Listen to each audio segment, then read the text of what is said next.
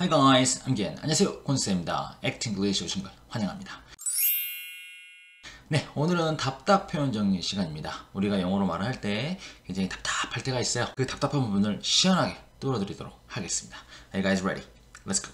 첫 번째입니다. 널 잃을 거야. 그렇죠. 우리가 막 애들이 그러잖아요. 아, 나 엄마한테 잃을 거야. 선생님한테 잃을 거야. 이거 영어로 어떻게 할까요? 보통 우리는 그냥 말하다는 다들 알고 있어요. 뭐 tell, speak, say 이런 거. 근데 이르다 이거는 영어로 어떻게 할까?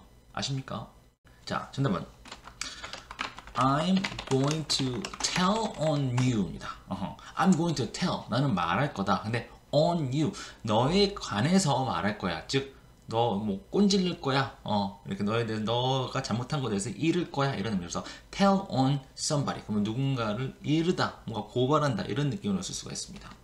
그가 선생님한테 나를 일렀다. 그럼 어떻게 할까요? 그럼 he told on me 하고 이제 선생님에게거든요. 그거는 to my teacher. 어허. 내 선생님한테 나를 일렀다. 이런 식으로 뒤에다 to를 넣게 되면 누군가에게 어, 뭔가를 이르다. 이런 의미로 쓸 수가 있습니다. 자, 기억하시고요. 자, 두 번째입니다. 소스는 따로 주실래요? 그렇죠. 우리가 이제 식당에 가게 되면은 음식을 시킬 때 이제 부먹, 찍먹. 근데 부먹 싫어하시는 분들은 이제 찍먹 하고 싶잖아요. 그래서 그럴 경우는 소스는 이제 따로 줘야 되는데. 자, 이거 영어로 어떻게 할까요? 그렇죠. Can I get the sauce on the side라고 하십니다. 중요한 포인트는 바로 이제 on the side, 말 그대로 사이드로 옆으로 내가 소스를 좀 얻을 수 있겠습니까? 즉 제가 따로 소스를 좀 따로 받을 수 있겠습니까? 라는 거죠. 이거는 정말 유용한 표현이니까 꼭 기억하셔야겠죠.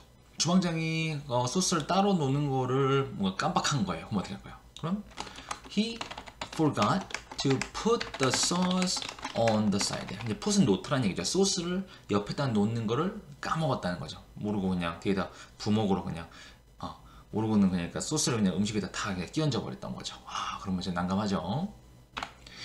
세 번째입니다. 저는 귀가 얇아요. 아, 그런 분들 있죠. 사람들이 뭐 이거 이렇더래 저렇더래 가면 아 진짜 그래? 아 정말? 막 이런 식으로 막 이랬다 저랬다가 사람들 말에 막 휘둘리시는 분들 많죠. 이런 분들 귀가 얇다라고 하는데 이 영어로 어떻게 표현할까요? I'm so gullible입니다. 자, 여기서 포인트는 바로 gullible이라는 표현인데 이게 바로 이제 귀가 얇은이라는 의미입니다. 그렇죠? 어, 뭐 사람들 말을 잘 믿고 막 이런 분들 있잖아요. 예를 들어서 어, 제가 너무 귀가 얇아가지고 모든 루머들을 다 믿어요. 뭐 어떻게 할까요? 그럼 I'm so gullible that I believe all rumors. 응. 나는 모든 루머들을 내가 다 믿는다라는 거죠. 너무 귀가 얇기 때문에. 그죠? 가끔씩 루머들을 보면은 이제, 어, 뭔가 이렇게, 어, 밝혀지지 않은 루머들도 굉장히 많잖아요. 근데 그냥 다 믿어버린다는 거죠.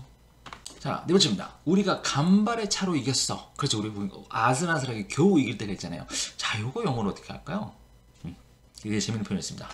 We won by a hair입니다. 어, 그래서 we won 우리가 이제 승리를 했는데 by hair 이 hair란 말 머리카락이잖아요.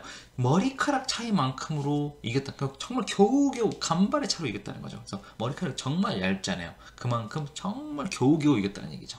우리가 뭐 그 레이스에서 간발의 차로 이겼다. 그러면은 we won the race by a hair 이렇게 표현하면 되겠죠. 어, 우리가 이제 경주에서 이제 겨우겨우 이겼다.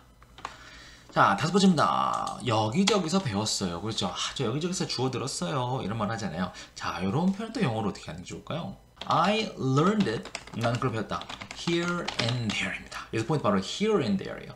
말 그대로 여기, 저기죠. 그래서 저는 그거 여기저기서 좀 이렇게 주워 들었어요. 라는 거죠. 제가 이제 기타를 배웠는데 누군가 한 명이 배운 게 아니고 이 사람한테 조금, 저 사람한테 조금 배운 거예요. 뭐 어떻게 할까요? 그러면 I learned to play the guitar here and there 이렇게 하면 되겠죠. 와, 저, 저 기타 여기저기서 조금 주워 배웠어요. 이런 의미가 되는 거죠. 그래서 here and there. 오늘 이렇게 답답 표현 다섯 가지 정리해봤습니다. 우리가 정말 평소에 많이 쓰는 표현들인데 막상 영어로 쓰려고 하면 잘 안 나오는 표현들이죠. 이거 꼭 기억하시다가 나중에 시원시원하게 쓰시기 바랄게요. Alright, thank you for watching. See you next time. Bye.